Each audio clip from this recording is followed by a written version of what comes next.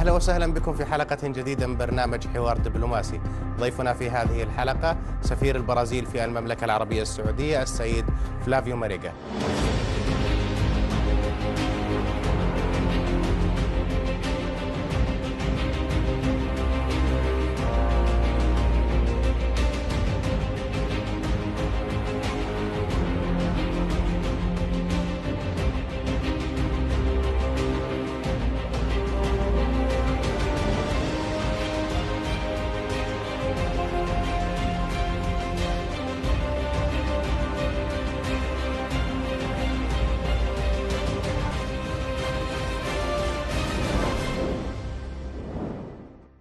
وسهلا بك سعادة السفير. العلاقات الدبلوماسية بين الرياض وريو جانيرو آه، تعود إلى العام 1968. آه، خلال هذا المشوار الطويل كيف تقيمون ما وصلت إليه العلاقات اليوم؟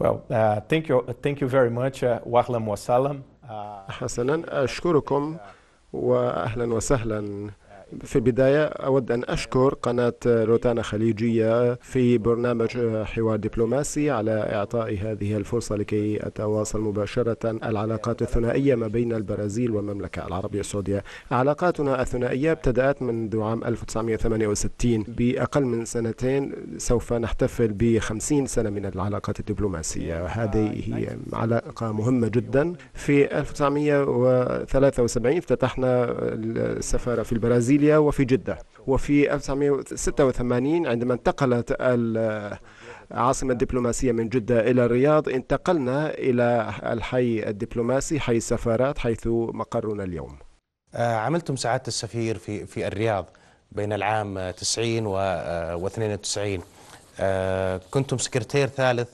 آه، في إدارة القسم التجاري والشؤون القنصلية. آه، كيف تنظرون إلى الرياض بين التسعينات واليوم؟ well, for me, as you can imagine, is a great honor. كما تتخيلون. هو شرف كبير لي أن أعود كسفير للبرازيل حيث كنت ممثلا لبلدي في حكومة آه، البرازيل في مع الحكومة السعودية أود أن أضيف أنه بما يخص العلاقات الثنائية فإن في هذه حوالي خمسين سنة تقريبا كانت علاقة جيدة جدا مع المملكة. مقارنة مع الوقت الذي كنت فيه هنا منذ 25 عاما فإن التقدم الذي أنجزته المملكة آه، هو أكثر ما أبهرني التطور التنمية التنمية الاجتماعية. وأيضا أجد أن السعودية أصبحت أكثر انفتاحا اليوم. يجب أن نتذكر أن في ذلك الوقت كانت هناك قناتي تلفزيون صحيفتين فقط. لم نكن هناك إنترنت في ذلك الوقت وهذا صعب أن نصدقه لكن لم يكن هناك إنترنت.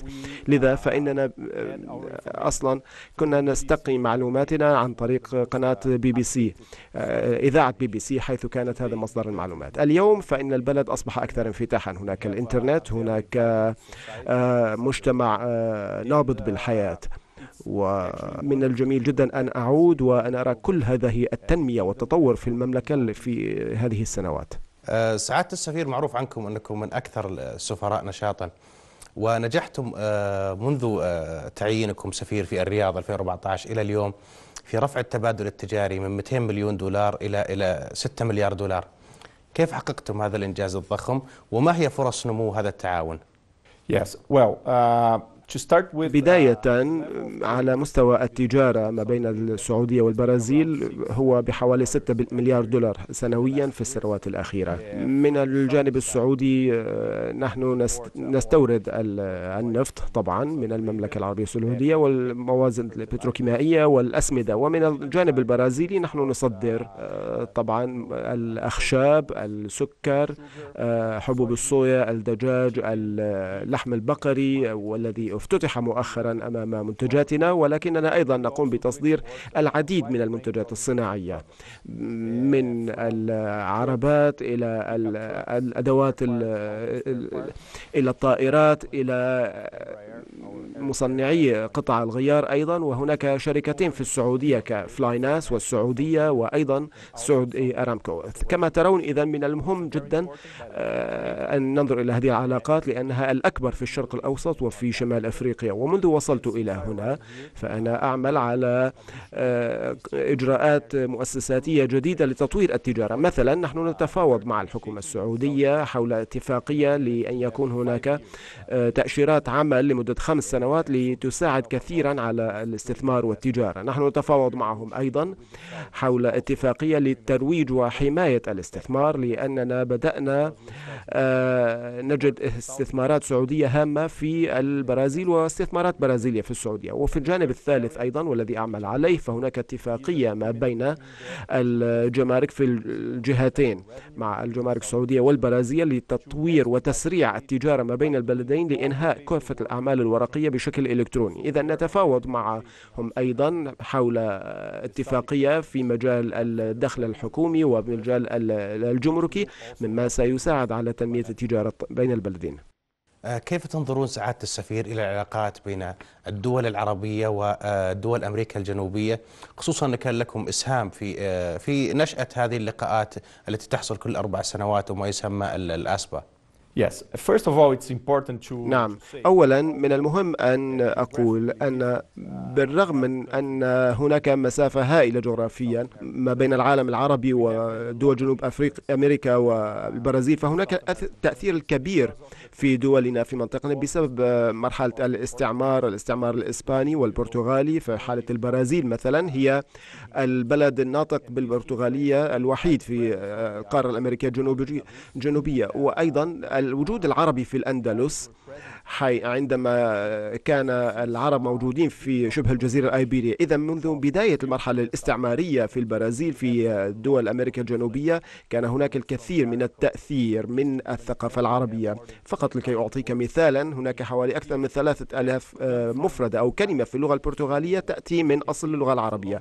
كما ترون إذا هذا تقليد وتراث طويل. بشكل خاص بما يتعلق بالبرازيل فمنذ القرن التاسع عشر وحوالي 1860 كان أول العرب الواصلين إلى البرازيل من سوريا ومن لبنان واليوم لدينا آه، جماعة أو جالية من أصل لبناني وسوري هناك حوالي ثماني ملايين آه، نسمة من هذا الأصل الأصل السوري واللبناني. لذا كنتيجة لهذه التشاركية وخاصة على المستوى الثقافي في عام 2005 فقامت الحكومة في عام 2005 بفكرة أسبا وهي مبادرة ثقافية ما بين 22 بلد آه، عربي ودول أمريكا الجنوبية بحيث يمكن لنا أن نتحاور حول كافة القضايا المشتركة لكي نضمن حوارا ما بين الطرفين. القمة الأولى كانت في عام 2005 في برازيليا والثانية في 2009 في الدوحة في قطر. القمة الثالثة في 2012 في ليما بيرو. والقمة الأخيرة في العام الماضي كانت هنا في الرياض والتي كانت بتقييمنا قمة ناجحة للغاية.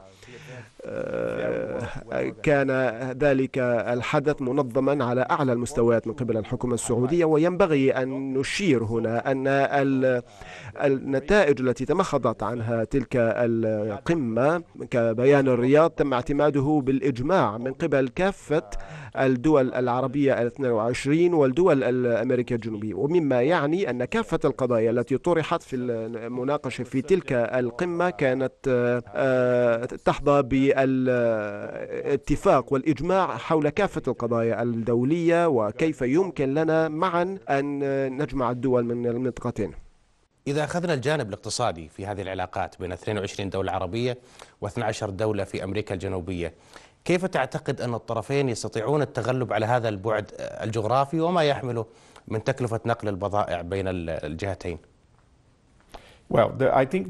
Uh, أعتقد أن القضية الكبرى الأولى بما يتحدث بخصوص تطوير العلاقة التجارية مع العالم العربي والدول أمريكا الجنوبية هي النقل. كما تعرف من أهم المناقشات في قمة الرياض لأنه كانت هناك لجنة وكان هناك مؤتمر مع القطاع الخاص. وأحد الطروحات كانت دراسة إنشاء آه، خطوط شحن خاصة يمكن من خلالها تطوير التجارة ما بين أمريكا الجنوب الجنوبية وشمال أفريقيا والشرق الأوسط. اليوم أمامنا واقع حيث يوجد الكثير من الخطوط النقل تذهب أولا إلى أوروبا ثم تنتقل بعد ذلك إلى الشرق الأوسط ومن ثم إلى دول الخليج. وهذا بالطبع يعني يزيد من تكاليف النقل. إذا النقل هو من أهم الأشياء التي ينبغي معالجتها لتطوير التجارة. ولكن أيضا علينا أن ندخل في حوارات وكما الحوارات ما بين دول ميركوسور. وهي الدول البرازيل أرجنتينا باراغواي أورغواي وفنزويلا. نحن في حوار مشترك مع دول مجلس التعاون لكي نصل إلى اتفاقية تجارة حرة. يعني آه، إلغاء الحواجز والتعريف الجمركية لكي نحقق تجارة حرة. هناك الكثير مما يمكن لنا أن نعمل عليه وتأمين كافة آليات العمل وهذا يساعدنا على التقدم وتطوير إجراءاتنا لتنمية التجارة والاستثمار. في سعيكم للوصول إلى اتفاقية تجارة حرة بين دول الميركوزور اللي أنت ذكرتها تشمل الأرجنتين والبرازيل باراغواي أراغواي فنزويلا ودول مجلس التعاون الخليجي. أعتقد أنه حتى تنجح هذه الاتفاقية تم تجاوز بعض المنتجات مثل ال petrochemicals آه، لتكون مستثناة أو آه، تتم دراستها لاحقاً. أولا نتحدث عن ميركوسور فهي مشابهة جدا لمجلس التعاون الخليجي. هي مشروع لسوق مشتركة يعني في المستقبل سيكون لدينا لن نقول تجارة حرة ضمن المنطقة فإن دول ولكن هناك حركة حرية حركة الأشخاص والأفراد والاستثمارات. المرحلة التي وصل إليها التطور في ميركوسور هو مشابه إلى حد ما ما هو في مجلس التعاون. هناك الكثير من عناصر التجارة الحرة والتي تم الاتفاق عليها حول السوق المشتركة والتعاريف الجمركية وهي أيضا في قيد البناء. إذا نظرت إلى الاتحاد الأوروبي وهو الصيغة الأكثر تطورا من الاندماج والتكامل الاقتصادي فقد استغرق وقتا طويلا لكي يصلوا إلى ما هم عليه الآن. إذا هذا أمامنا في ميركوسور وفي GCC مجلس التعاون. هناك مفاوضات توقفت في 2006 لكي تصل إلى اتفاقية تجارة حرة ما بين ميركوسور ومجلس التعاون نناقش حاليا التجارة الحرة وكيف يمكن أن نصل إلى تعرفة جمركية تساوي الصفر. ولكن بسبب قطاع البتروكيماويات في دول مجلس التعاون وخاصة بشكل في المملكة العربية السعودية هو قطاع قوي جدا فإن شركات البتروكيماويات في بلدنا طلبت من الحكومة أن تتوقف عن هذه المفاوضات وهذا حيث نقف الآن لأن هذه المناقشة توقفت الآن ونحن بانتظار اللحظة التي يمكن لنا أن نعيد بها إطلاق المفاوضات. يعني ستتم اتفاقية التجارة الحرة ولكن ستؤجل البتروكيماويات. Yes, uh, our, our نعم. رأينا فكرتنا أن نعود إلى المفاوضات في المستقبل. وبالواقع فقد ناقشت هذا مع أمين عام مجلس التعاون الخليجي ولكن في الوقت الحالي نعتقد أن الظروف ليست متوفرة لكي نستكمل تلك المفاوضات. آه، إلا أننا نستطيع العمل بشكل ثنائي كالبرازيل والسعودية ومع الدول الأعضاء الأخرى في مجلس التعاون وأيضا مع الدول الأخرى هي أعضاء ميركوسور للحد من قيود التجارة لكي نصل إلى اتفاقية تشمل كلا المنظمتين ميركوسور ومجلس التعاون هل صحيح الانطباع الموجود بأنه آه، الدول الصغرى هي المتضرر الأكبر؟ هل نستطيع أن القول أن الدول التي لديها أنظمة متقدمة أكثر وقوانين أفضل آه، للتجارة هي اللي استفادت أكثر من التجارة العالمية؟ في لقاءات الآسبا القمة العربية الأمريكية الجنوبية هناك بعيدا عن الاقتصاد أيضا ملفات سياسية ودعمت دول أمريكا الجنوبية العديد من القضايا العربية وعلى رأسها قضية فلسطين.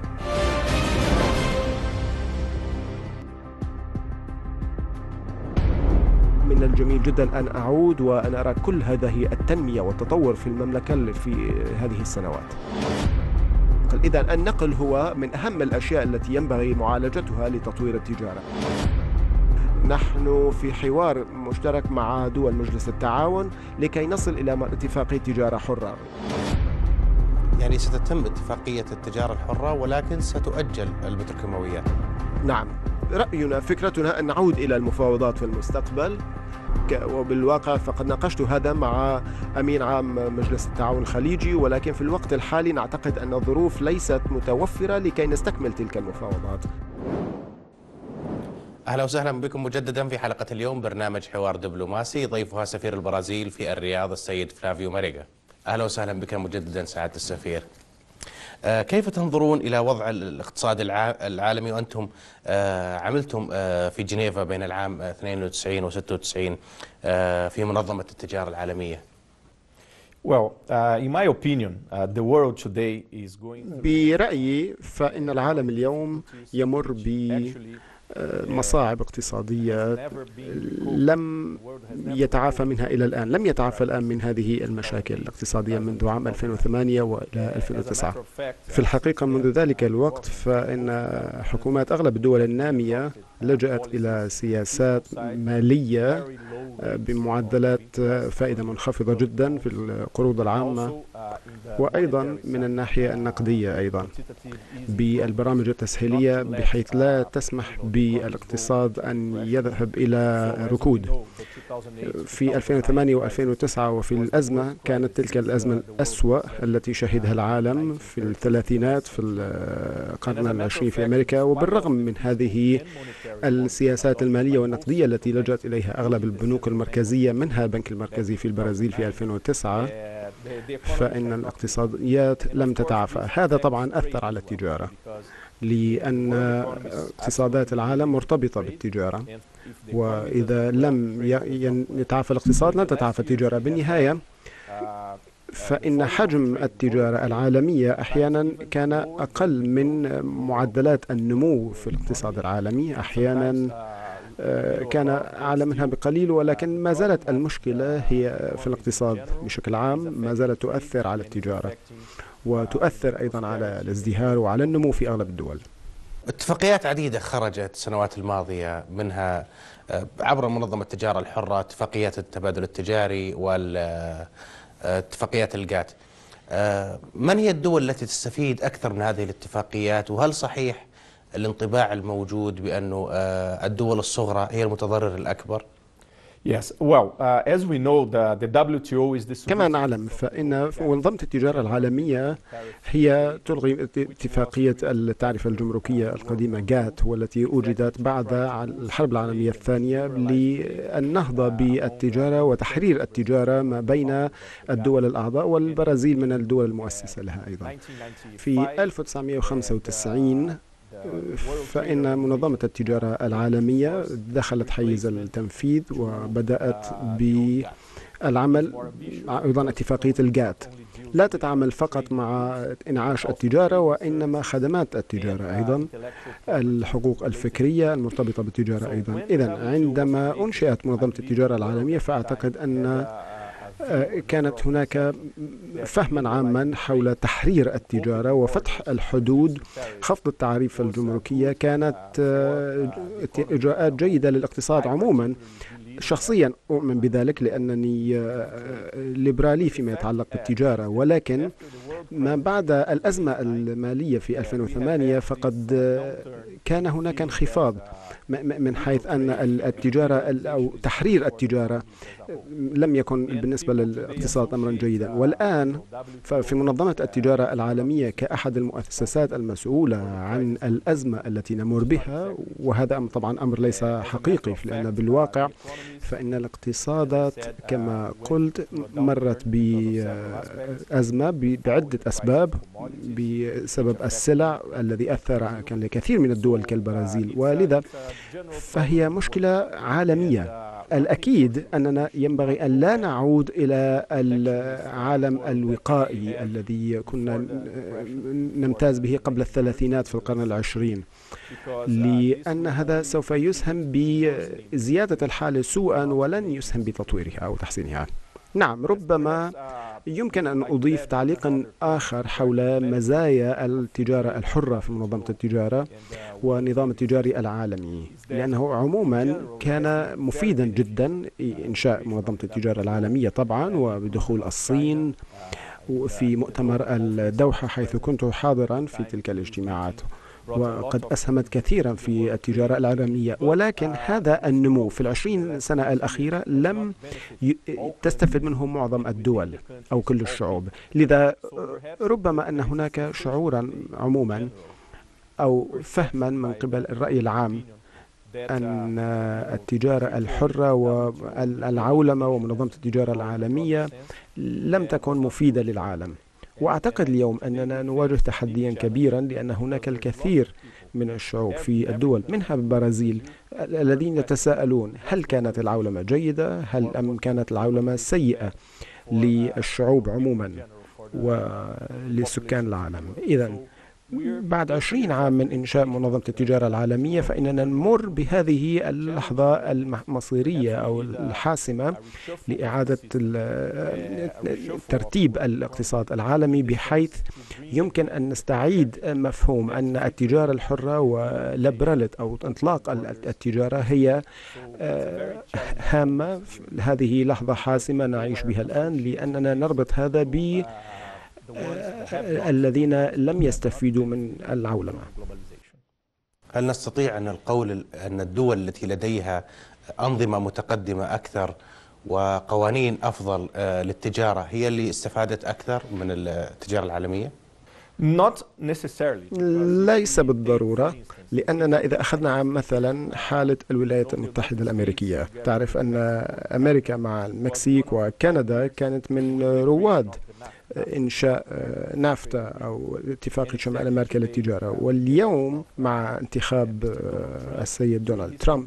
وخلال حملته فقد انتقد بشدة آه، نافتا بحيث أن الولايات المتحدة فقدت الكثير من الوظائف بسبب اتفاقية التجارة الحرة. إذا هذا جزء من هذا المفهوم أو الفهم الذي تحدث عنه أن هناك شعورا عاما بأن فتح الحدود وتحرير التجارة وأن تكون أكثر انفتاحا على الاستثمار بدلا من آه، خلق فرص العمل ومساعدة الناس هو يدمر فرص العمل وهذا هو التحدي. هذه هي اللحظة الحاسمة. الذي نعيشها في 2016 آه، في لقاءات الأسبا القمة العربية الأمريكية الجنوبية آه، هناك بعيدا عن الاقتصاد أيضا ملفات سياسية ودعمت دول أمريكا الجنوبية العديد من القضايا العربية وعلى رأسها قضية فلسطين. Yes, well, it's true the ASPA mechanism. نعم. صحيح أن أسبا وآليات عملها تتعلق ببعض القضايا السياسية وبالواقع فهناك كثير من الأشياء المشتركة مع الدول العربية والكثير من المواقف السياسية الثنائية وعلى مستويات أخرى خاصة بالنسبة للقضية الفلسطينية كانت فلسطين كانت البرازيل دولة رائدة أو الحكومة البرازيلية. أخطرت الحكومة الفلسطينية بأنها تعترف بفلسطين كدولة بناء على حدود ما قبل 1967 وهذا هام. وبالطبع مع وهي أيضا مع حل الدولتين. إذا بعد قرارنا في 2010 بالاعتراف بفلسطين كدولة فالكثير من دول أمريكا الجنوبية حدث حذونا في هذا المجال وهي تدعم آه، الاعتراف بفلسطين كدولة. وبالتالي فإننا ندعم حل الدولتين لدولتين منفصلتين. فاصل قصير سعادة السفير ثم نعود إليك. آه، ظهور داعش في سوريا والعراق هل هناك تعاون أمني بين الجهات السعودية والجهات البرازيلية؟ آه، في البرازيل كيف تنظرون إلى الأزمة اللي في سوريا؟ يعني ربما نشهد هذه الأيام مجزرة إنسانية غير مسبوقة في في حلب. آه، كيف تنظرون الأزمة في اليمن خصوصا منذ الانقلاب الذي حصل في 2014 هل تعتبرون حزب الله منظمة إرهابية؟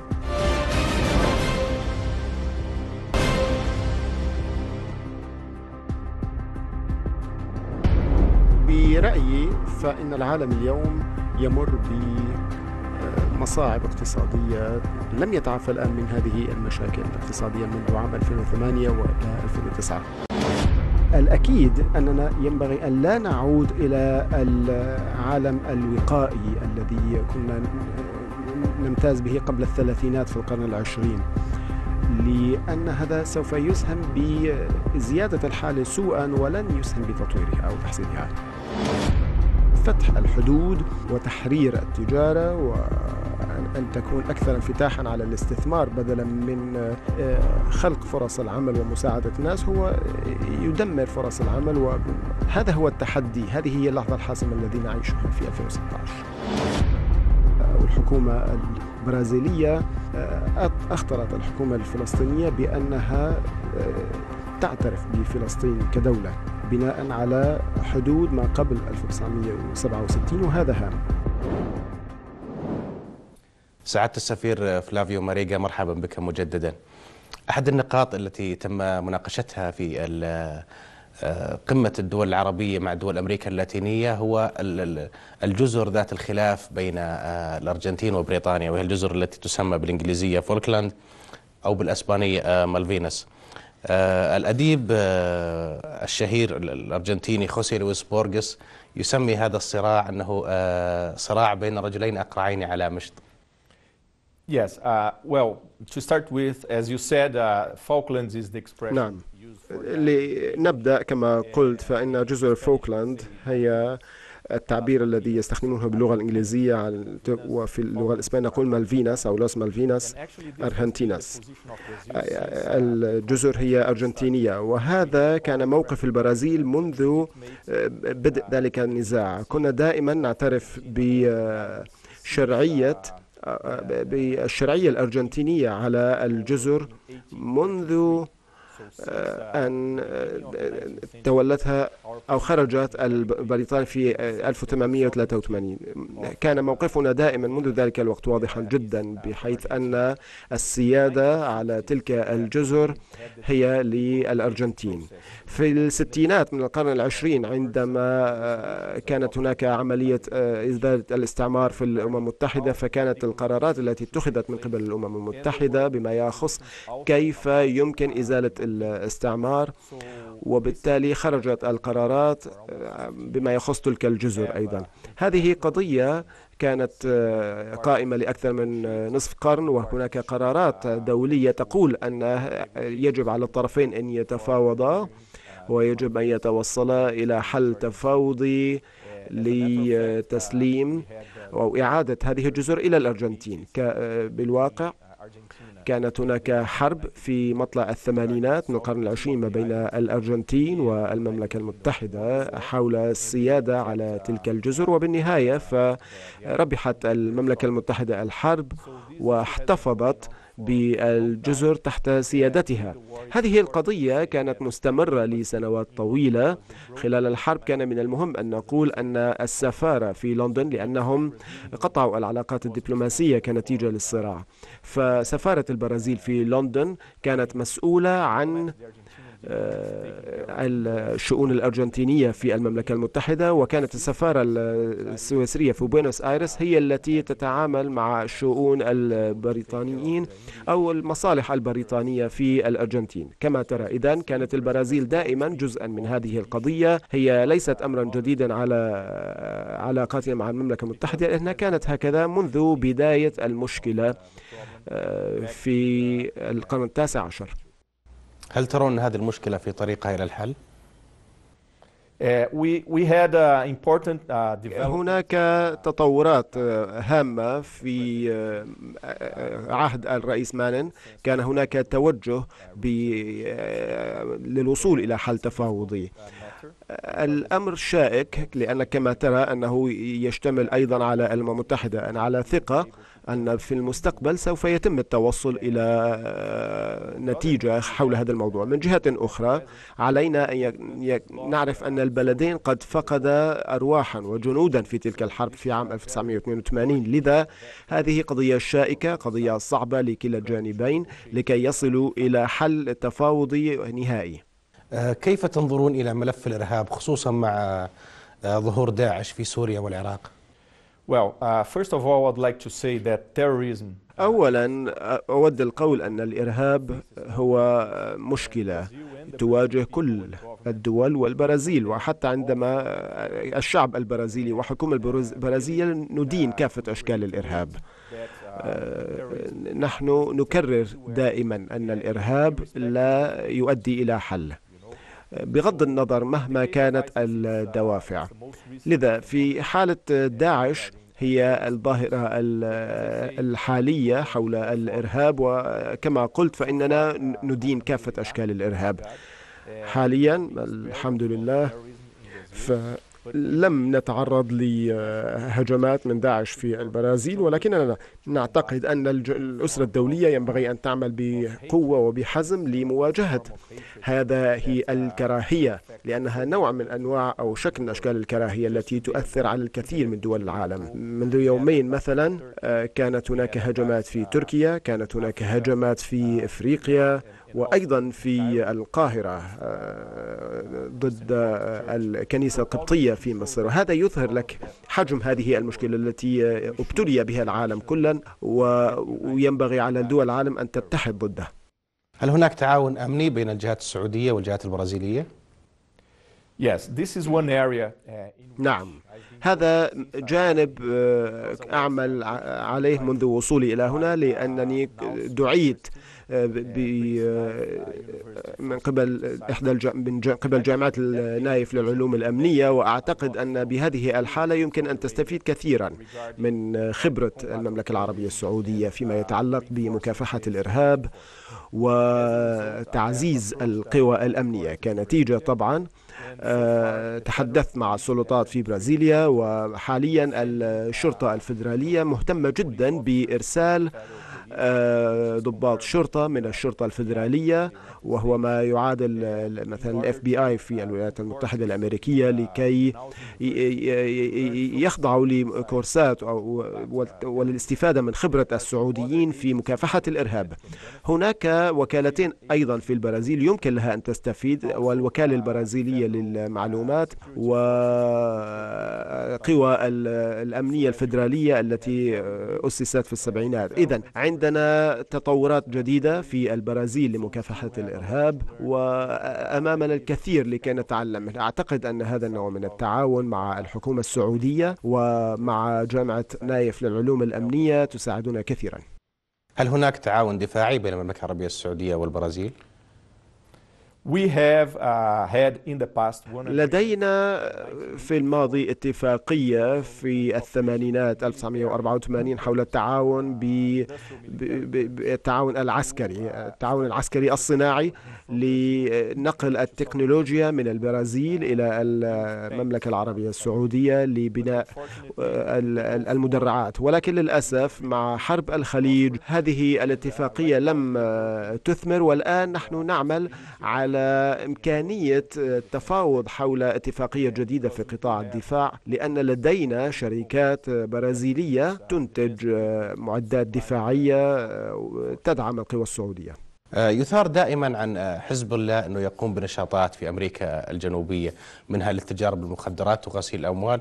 وربما في آه، صحيفة الإندبندنت آه، نشرت آه، فبراير الماضي إنه أعضاء من حزب الله آه تم القبض عليهم عبر ال DEA اللي هي ال Drug Enforcement Administration أو إدارة مكافحة المخدرات الأمريكية باتهامهم أنه كانوا يستخدمون أموال استخدمت في آه بيع المخدرات في بعض دول أمريكا الجنوبية آه لتسليح النظام في سوريا. كما قلت لك آه، فإن أمريكا الجنوبية عموما والبرازيل خصوصا آه، كانت بعيدة عن الإرهاب أو الهجمات الإرهابية. في الماضي آه، كانت هناك مشاكل. آه، وبعض المعلومات حول الشؤون الحدودية ما بين البرازيل الباراغواي والأرجنتين لأنها تلك منطقة نستقبل فيها الكثير من المجموعات خاصة السوريين. هي آخر موجات الهجرة إلى البرازيل الباراغواي والأرجنتين والتي تركزت في هذه المنطقة الحدودية. منذ بضعة سنوات بدأنا نتلقى معلومات أنه يمكن أن يكون هناك احتمالية آه، منظمات إرهابية آه، تعمل في تلك المنطقة ولكن حالا حاليا لم يثبت هذا في الوقت الحالي ليست لم نكن آه، هدفا لأي منظمات إرهابية أو أعمال إرهابية في البرازيل إن كانت من حزب الله أو داعش أو أيها هل تعتبرون حزب الله منظمة إرهابية؟ We, uh, regarding that aspect, بما يتعلق به ينبغي دائما أن ننظر إلى ما آه، تقره الأمم المتحدة كمنظمات إرهابية. إذا هذا سؤال صعب جدا لأنه يعتمد على نوع النظرة التي آه، تملكها حيال القضية. آه، في البرازيل كيف تنظرون إلى ال- ال- الأزمة اللي في سوريا؟ يعني ربما نشهد هذه الأيام مجزرة إنسانية غير مسبوقة في في حلب.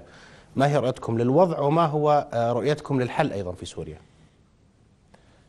Well, regarding the conflict of Syria, uh, by the way, بما يتعلق بالأزمة السورية وبالمناسبة فهو أمر أنا شخصيا وأعتقد أنه باسم الحكومة البرازيلية والشعب البرازيلي نحن نستنكر هذه الأحداث وما حدث في السنوات الخمس أو الست من هذا النزاع. الحكومة البرازيلية كانت دائما واضحة بموقفها بما يتعلق بالصراع السوري لأنه ينبغي أن يكون هناك حل تفاوضي يشتمل على كافة الشركاء لكي يصلوا إلى حل للنزاع.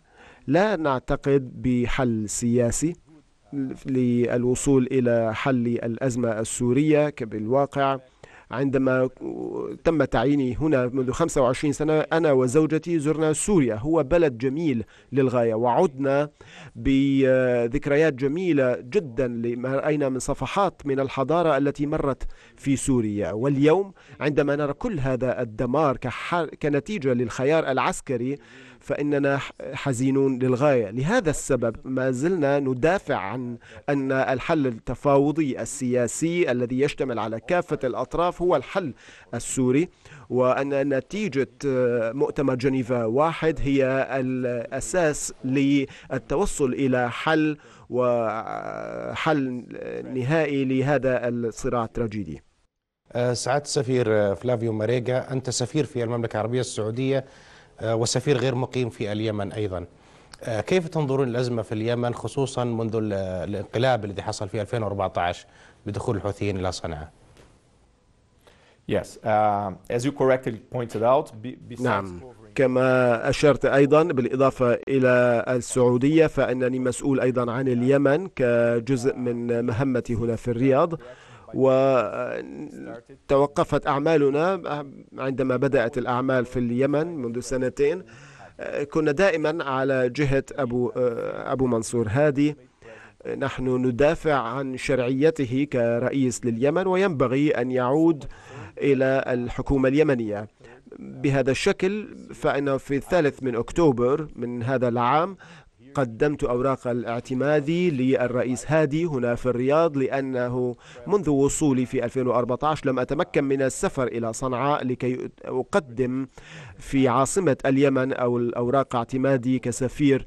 لذا وافقت حكومتي البرازيلية أن يتم هذا الأمر هنا في الرياض وفعلت ذلك وقدمت هذه الأوراق في الثالث من أكتوبر. وأعتقد أن بهذه اللفتة نعبر كحكومة برازيلية عن دعمنا المستمر للحكومة الشرعية وللرئيس هادي كرئيس شرعي للحكومة الشرعية وبالتالي ينبغي أن يعود كحكومة يمنية هل تسعى البرازيل كدولة كبرى آه، إلى الضغط على حلفاء ال- الحوثيين وصالح إلى القبول بحل سياسي وتجنب استمرار الحرب؟ It's important to say that من المهم القول أن البرازيل هي جزء من مجموعة أصدقاء اليمن والتي كانت آه، آه، جزء من التعاون بشأن اليمن. هناك تجارة هامة بأكثر من 100 مليون دولار مع اليمن أكثر من 400 مليون دولار قبل بدء هذا النزاع. طبعا الآن انهارت هذه الأرقام إلى م- أرقام أصغر من ذلك. اليمن هي من المنتجات الزراعية من البرازيل. إذا كما ترى كان دائما هناك لنا مشاركة مع اليمن. ولكن بعيد عن هذا النزاع نحن لا نشارك مباشرة في المفاوضات للتوصل إلى حل نهائي أو نتيجة نهائية للنزاع ما هي فرص الحل السياسي في اليمن خصوصا بعد فشل مفاوضات الكويت التي امتدت لأكثر من أربعة أشهر؟ Uh, كنا نتابع عن كثب هذه المسألة وكما قلت لكم أننا كنا دائما من وجهة النظر المبدأ أنه ينبغي أن يكون حل تفاوضي وطبعا مع الأطراف عندما يتوصلون إلى اتفاق حيث يعود الرئيس الشرعي والحكومة الشرعية ويعودوا إلى عملهم الطبيعي. فهذا كان دائما موقفنا منذ مفاوضات الكويت وحتى قبل ذلك. فاصل أخير ساعات السفير ثم نعود إليك. من الصعب أن نتحدث مع السفير البرازيلي ونتجاوز مسألة كرة القدم. البرازيل جذبت عبر السنوات العديد من الجاليات. يعني ربما عدد اللبنانيين والسوريين الموجودين في البرازيل يتجاوزون عدد الموجودين في بلدانهم الأصلية. بل أنه أكبر جالية يابانية خارج اليابان موجودة في البرازيل. ما هو السر؟ سعادة السفير فلافيو ماريغا تتحدث خمس لغات. هذا شغف ولا دبلوماسية؟ يقال اليوم أن العالم اختلف ولا يجب أن تبقى فقط خمس دول في مجلس الأمن. هي التي تمتلك حق الفيتو. لم نتعرض لهجمات من داعش في البرازيل ولكننا نعتقد أن الأسرة الدولية ينبغي أن تعمل بقوة وبحزم لمواجهة هذه الكراهية لأنها نوع من أنواع أو شكل من أشكال الكراهية التي تؤثر على الكثير من دول العالم.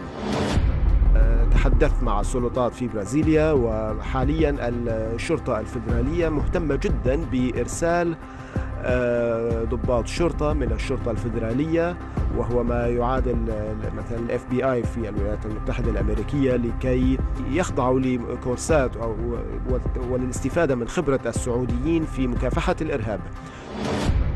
واليوم عندما نرى كل هذا الدمار كنتيجة للخيار العسكري فإننا حزينون للغاية. لهذا السبب ما زلنا ندافع عن أن الحل التفاوضي السياسي الذي يشتمل على كافة الأطراف هو الحل السوري.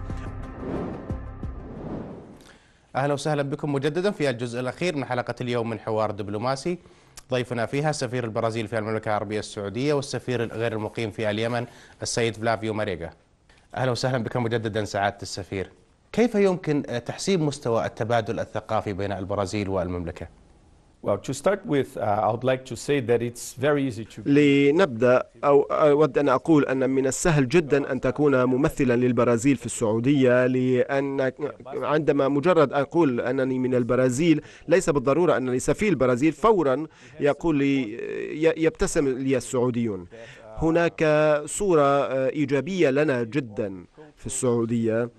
بغض النظر عن التبادل الثقافي الذي بيننا حاليا لا يوجد هناك اتفاقيات حول التبادل الثقافي رغم وجود بعض المبادرات. وأعتقد أن هذه الصورة الإيجابية هي بسبب كرة القدم طبعا. بسبب لاعبي كرة القدم الذين أتوا في السبعينات لكي يلعبوا في الفرق السعودية والأندية وأيضا المدربين ومدراء مديري الفرق. آه هذه الرابطة الثقافية تأتي من آه، خلفية آه، شرحناها قبل حول أثر العرب عبر الأندلس في وانتقالها إلى أمريكا الجنوبية أيضا. لذا كحقيقة فنحن ثقافيا نشعر بتقارب فيما بيننا. نحن آه، آه، نشترك بالكثير معا. هناك حضور آه، ثقافي آه، قوي من قبل آه، في البرازيل. نظمنا كأس العالم مثلا وبمبادرة من وزارة الثقافة السعودية والتي كانت الأيام الثقافية السعودية. نظموا أسبوعا ثقافيا في البرازيل. عرضوا به التراث الموسيقي والفولكلوري والتراث الحرف اليدوية وكل أنواع النشاطات الثقافية السعودية وكان نجاحا هائلا. كثير من الناس حضروا وزاروا وهذا يعطيك طبعا فكرة عن أن أي نوع من الفعاليات تجتذب الشعب البرازيلي وبالعكس. هل هناك عمل على ترجمة روايات أو كتب بين البلدين إقامة مسرحيات تعريف بموسيقى البلدين؟ Yes, uh, we have in the case of uh, the Brazilian government, we have a few publications نعم. في ما يتعلق بالحكومة البرازيلية هناك بعض المنشورات التي تتحدث عن العمارة البرازيلية والأزياء البرازيلية والتي ترجمت إلى اللغة العربية لكي تساعد على نشر ثقافتنا في السعودية والدول العربية عموما. لكن في المجال الأدبي فإن أهم الأعمال هي التي اهتم بها مكتبة أسبا. ومن النتائج هذه الآلية أسبا التي تحدث عنها الدول العربية ودول أمريكا الجنوبية هي إيجاد مكتبة مشتركة في سياو باولو في البرازيل وأخرى في الجزائر. وهذه المكتبة تقوم بعمل جميل جدا بترجمة الأدب البرازيلي إلى اللغة العربية وأيضا بترجمة الأدب العربي إلى اللغة البرتغالية. وكنتيجة بالواقع تحدثت مع مدير مكتبة الملك عبد العزيز لكي نقترح نوع من التبادل بحيث يمكن أن ننشر كتب من الأدب البرازيلي لأن لدينا حركة أدبية متطورة في مجال أدب الأطفال في البرازيل. آه، نحن نعمل على هذا البرنامج والذي يمكن له مكتبة الملك عبد العزيز أن تنشر كتبا من الأدب البرازيلي آه، طبعا أدب الأطفال باللغة العربية بما ينشر ثقافتنا في المملكة العربية السعودية. من الصعب أن نتحدث مع السفير البرازيلي ونتجاوز مسألة كرة القدم. ما سر هذا الشغف بكرة القدم في البرازيل؟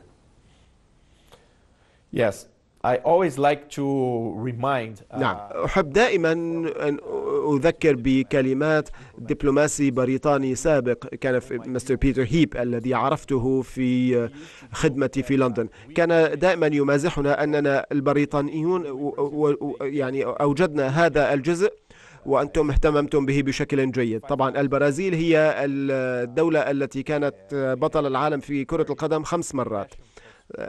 لدينا شغف كبير بكرة القدم. آه، كرة القدم آه، هي دخلت البرازيل في بداية القرن العشرين وأصبحت شغفا للناس لأن الجميع الكل من أي خلفية اجتماعية في البرازيل الملاعب متوافرة ومنتشرة في المدارس في الحدائق. هي جزء من حياتنا اليومية. وكما قلت لك في حالة السعودية كثير من صورتنا جزء كبير من صورتنا الإيجابية يتعلق بكرة القدم ووجودنا هنا منذ السبعينات وطبعا أيضا مع القهوة. أتفق معك. لذا اليوم كرة القدم يعني منتشرة جدا في كل أنحاء العالم ولهذا فإن البرازيل ليست لم تعد هي يعني الدولة الوحيدة التي تحتكر أو التي تعتبر قوة. في مجال كرة القدم ولكن ما زال لدينا هذا الشغف والحب لكرة القدم. وتعرف أن عندنا ملايين وملايين البرازيليين الذين يلعبون آه الذين يشجعون الفرق. ومن المهم جدا أن نقول أن كأس العالم في 2014 آه أتت لنا بالكثير من المعاصرة. إلى إلى ملاعبنا. بنينا 12 ملعبا في جديدا وفقا لمعايير الفيفا لاستضافة كأس العالم. واليوم هذا ساعد على يعني إيجاد دعم أكبر وإشراك عدد أكبر في هذه طبعا اتحاد كرة القدم. كان فيه عشرين فريق من كل البرازيل ولكن لدينا أيضا الاتحاد الثاني أو الاتحاد B والاتحاد C. إذا لدينا ثلاثة بطولات مختلفة لثلاث مستويات مختلفة من الفرق التي تلعب في البرازيل. هذا على المستوى البلد. على مستوى الدولة فهناك بطولات على مستوى الدولة. إذا في الجزء الأول من العام هناك بطولات الدولة مع الفرق الاحترافية وفي الجزء الثاني من النصف الثاني من العام لدينا البطولات الوطنية التي تشمل على الأندية من كل المناطق هل تعتقد أن كرة القدم آه، قد تسهم في تحسين علاقات الدول أو العكس؟ Well, as a matter of fact, uh, في الواقع كما قلت منذ وصول اللاعبين البرازيليين الأول إلى السعودية الأشهر والذين أسمع هوبرتو هيبيلينو مثلا كان يلعب في نادي الهلال. منذ وصول أول لاعبين والإداريين إلى السعودية كانت نعم والمدربين زاغالو كالزومبرتو لويس فيليبس كولاري كلهم كل هؤلاء المدربين كانوا مدربين في المنتخب الوطني ولمدرب أو مدير يصبح أن يدير مدير أو في في هنا هو حلم لكل مدرب. إذا أغلب المدربين الوطنيين في مرحلة ما من حياتهم عملوا في السعودية. هذا التعامل طبعا كان مستمرا لسنوات طوال. طبعا الآن نحن نعمل على توسيع أطر التعاون في مجالات رياضية أخرى. في العام الآخر الماضي مثلا في اللجنة المشتركة السعودية البرازيلية وقعنا اتفاقية تعاون في قطاع الرياضة وبوجود الوفد السعودي في اللجنة الأولمبية في البرازيليا والذي ترأسه آه، صاحب السمو الملكي الأمير عبد الله بن مساعد نرى هناك أفقا جديدة للتعاون ما بيننا. في مجال الجوجيتسو والفنون والألعاب القتالية إذا هذا يفتح لنا صفحة جديدة من التعاون في مجال الرياضة يعني بما لا يبقيه فقط في إطار كرة القدم منذ السبعينات كيف تقيمون السياحة في في البرازيل؟ ما هي أبرز الأماكن هناك التي يجب أن تزار؟ Uh, السياحة في البرازيل هي برازيل بلد كبير جدا لدينا أكثر من 8 مليون كيلومتر مربع. من الأرض وهي آه، تعادل ثلاث مرات مساحة المملكة العربية السعودية. وهذا يعطينا تنوعا هائلا من المناطق للتنقل والسياحة. هناك ثمانية آلاف كيلومتر مربع كيلومتر من من من من الشواطئ لدينا آه، أكبر آه، مثلا غابة الأمازون. هناك ذي بانتاناو وهي منطقة جميلة للغاية. للصيد وللحياة النباتية. إذا في حسب الفصل أو الوقت الذي تتواجد فيه في البرازيل فيمكن أن تقوم بهذه النشاطات أو الفعاليات. أو يسألني السعوديون أين يجب أن يذهبوا؟ أقول هذا يعتمد كم ستمكثون. إذا بقيت أسبوعين فهذا النوع من المناطق وإذا جلستم أكثر فهناك مناطق أخرى. المناطق الأكثر زيارة هي ريو دي جانيرو هي العاصمة السابقة. أيضا ساو باولو آه، دي إيغواسو falls.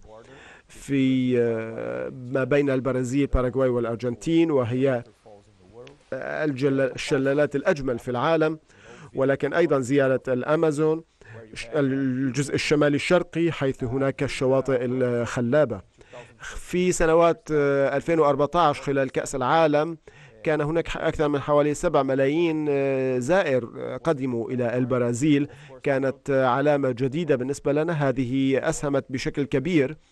كان هناك أكثر من 600 ألف آه، زائر لكأس العالم وهذا استمر هذه العام مع الأولمبياد في ريو آه، في بورت في إمبراطور وهو الهيئة التي تنظم السياحة في البرازيل. كل ما أقوله للسعوديون هو آه، زورونا في البرازيل وأنا على ثقة أنكم ستحبونها كإخوانكم الذين زاروا البلد وأبدوا إعجابهم بها. البرازيل جذبت عبر السنوات العديد من الجاليات يعني ربما عدد اللبنانيين والسوريين الموجودين في البرازيل يتجاوزون عدد الموجودين في بلدانهم الأصلية بل أنه أكبر جالية يابانية خارج اليابان موجودة في البرازيل ما هو السر؟ Yes. Well, uh, you know, Brazil نعم البرازيل كدولة هجرة جديدة نتلقى مهاجرين من كل أنحاء العالم. هناك أول وجود أوروبي كان من البرتغال منذ القرن السادس عشر وفي القرن التاسع عشر بدأنا نتلقى المهاجرين العرب. طبعا ينبغي ألا ننسى أيضا الأفارقة الذين قدموا إلى البرازيل للعمل في مناجم الذهب كأرقاء في البداية. وأسهموا كثيرا في بناء البرازيل. في القرن التاسع عشر آه، وصل إلينا السوريون واللبنانيون في حوالي 1860 وبعد ذلك الوصول المهاجرين الأوروبيين. في مطلع القرن التاسع عشر كانت هناك الموجة الأولى من اليابانيين لكي يعملوا في قطاع البن والقهوة. اليوم نقول أن لدينا أكبر جماعة من اليابانيين من من خارج اليابان وهناك أيضا الطليان أو الإيطاليون الذين توجهوا إلى البرازيل في نهاية القرن التاسع عشر وأيضا من جنسيات أخرى. السبب الذي دفعهم للهجرة إلى البرازيل هو البحث عن آه، للتعرف على أمريكا للبحث عن فرصة جديدة في الحياة. في كل في أغلب الحياة كانوا يغادرون دولهم في ظروف صعبة ظروف اقتصادية سياسية وكانوا يتوجهون إلى البرازيل أو إلى الدول الأخرى التي تلقى المهاجرين بحثا عن حياة أفضل وعن وسائل معيشة واقتصاد أقوى لكي يتمكنوا من العيش. هذه كانت حالة البرازيل. منفتحين على مختلف الثقافات. طبعا. of وهذا كنتيجة وجود هذه البوتقة التي امتزجت بها تلك الثقافات. نحن منفتحون على كافة الثقافات وهذا موجود في موسيقانا. في موسيقانا هناك تأثيرات أفريقية هناك آثار من من الموسيقى العربية أيضا. أيضا في الفنون الجميلة في العمارة أيضا. هناك حركة معمارية جديدة بدأت في الخمسينات من القرن الماضي. أعتقد أن هذه التعبيرات الثقافية غنية جدا في البرازيل البرازيل وهي نتيجة لهذا التواجد لهؤلاء المتحضرين من مختلف الثقافات سعادة السفير فلافيو ماريغا تتحدث خمس لغات هذا شغف ولا دبلوماسية؟ نعم هذا سؤال جيد جدا.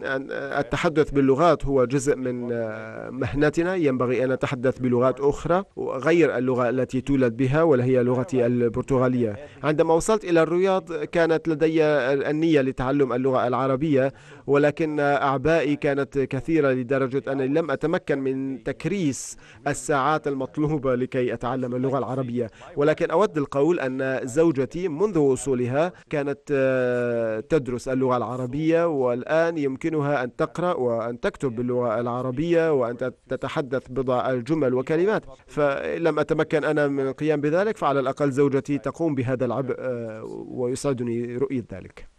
يقال اليوم أن العالم اختلف ولا يجب أن تبقى فقط خمس دول في مجلس الأمن هي التي تمتلك حق الفيتو. وهناك حديث أنه فيه البرازيل والهند آه، واليابان وألمانيا هي دول أيضا كبيرة وتستحق أن تكون دول دائمة العضوية Yes, I believe you're talking about the permanent. نعم أعتقد أنك تتحدث عن الأعضاء الدائمين لمجلس الأمن الدولي البرازيل واليابان.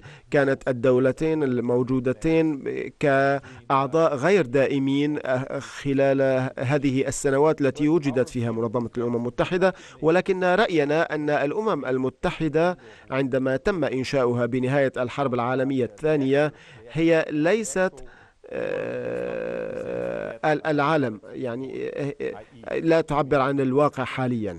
يعني أن هناك دول هامة كاليابان كالبرازيل كالهند كألمانيا التي لم تكن آه، عضوا في مجلس الأمن.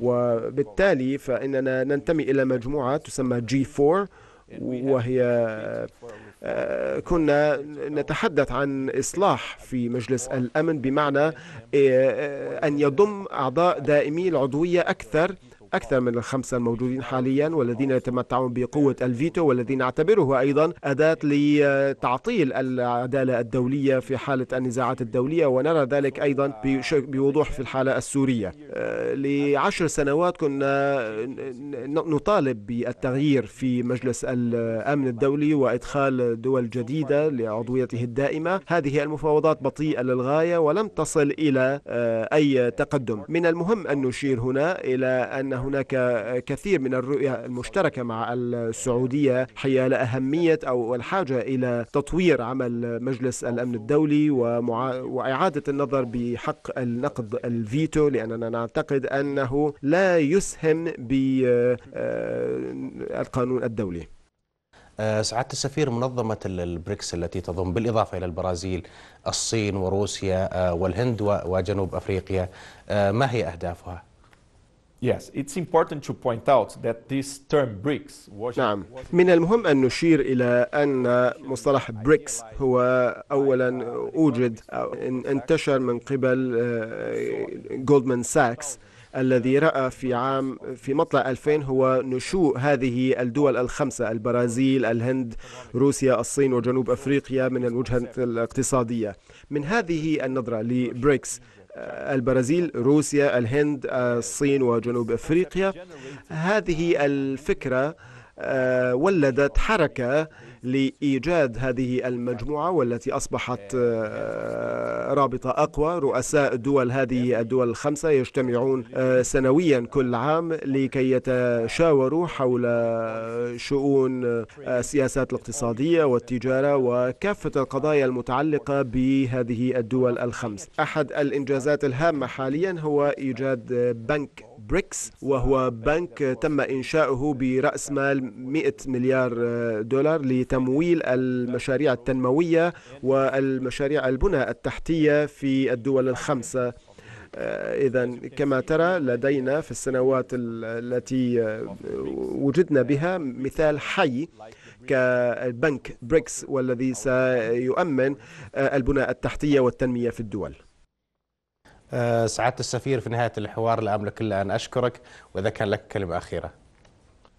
Well, I, perhaps I should go back to the beginning of our interview to ربما ينبغي أن أعود إلى بداية الحوار لأقول أنها كانت فرصة وشرف كبير لي أن أمثل البرازيل والحكومة البرازيلية في المملكة العربية السعودية. لدينا إعجاب وشغف كبير بالثقافة والمملكة العربية السعودية التي تقوم بإنجازات هائلة جدا في التنمية والاقتصاد لأن التنمية الاقتصادية ينبغي أن تترافق مع التنمية الاجتماعية أي أن هناك آه، تواصل أكبر مع التعليم والتنمية الثقافية. وأعتقد أن السعودية قامت بعمل هائل جدا كقيادة وحكومة سعودية قامت بأعمال آه، ومنجزات هائلة. جدا بعملية توزيع الثروة والتي تأتي من النفط. هناك خطة جديدة رؤية 2030 والتي تحاول أن تنوع من الاقتصاد. ونرى أن الكثير من ثراء المملكة طبعا يأتي من النفط ولكنني أعتقد أن الحكومة استطاعت من إدارة شؤونها وأن تصل بالدولة والمواطنين إلى مستويات أفضل. شرف كبير لي طبعا أن أعود لكي أرى هذا التنمية والتطور وأشهده في السنوات الخمسة وعشرين. شكرا جزيلا. سفير البرازيل في المملكة العربية السعودية والسفير الغير مقيم في اليمن السيد فلافيو ماريغا ضيف حوار دبلوماسي اليوم. إلا أن نلقاكم في حلقة قادمة ابقوا في حفظ الله ورعايته.